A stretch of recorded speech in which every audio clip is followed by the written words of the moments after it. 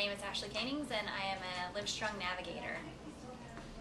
Navigation is support, guidance, and education through the cancer journey, starting at the date of diagnosis and going through treatment, post treatment, follow up after treatment, survivorship issues that might occur after treatment. Um, at Livestrong, we feel that navigation is very important because it does offer the support that someone might need or anyone affected by cancer. It could be family members, caregivers, um, loved ones.